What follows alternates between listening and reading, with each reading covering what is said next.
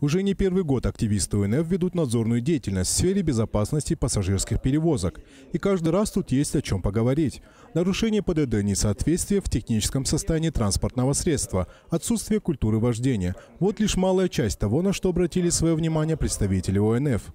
Много у нас пассажирского транспорта и в городе Черкеске, не только в городе, но зачастую мы видим, э, мягко говоря, нарушение правил дорожного движения водителями этого транспорта.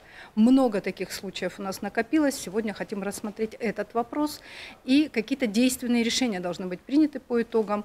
Мы уже подготовили предложение о том, чтобы все-таки сделать межведомственную рабочую группу, которая бы оперативно могла реагировать и пресекать подобные нарушения нарушения.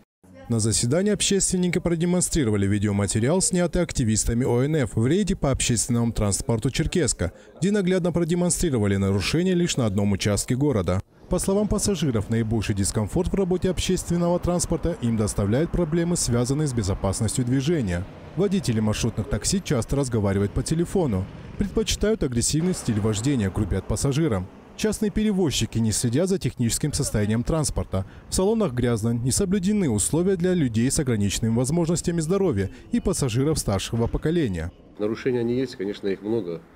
Э, ГИБДД, к сожалению, на сегодняшний день не обладает э, такими ресурсами, чтобы на сегодняшний день отслеживать каждое нарушение каждого автобуса, потому что помимо автобуса у нас еще транспорта, к сожалению, очень много. В республиканском центре, в частности, Работа проводится, могу сказать, что с начала только текущего года э, в отношении э, водителей транспортных средств, осуществляющих перевозки пассажиров, составлено около 550 административных правонарушений.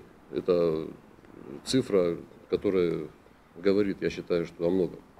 Поэтому, как бы, считаю, что эта проблема должна решаться, начинать решаться с, в первую очередь с самого транспортного предприятия. По итогам выявленных нарушений активисты ОНФ обратятся в администрацию Черкеска с предложением о принятии мер по предотвращению неправомерных действий организаций, предоставляющих услуг перевозки пассажиров. Ренат Ибрагимов, Назир Капушев, Архиз 24.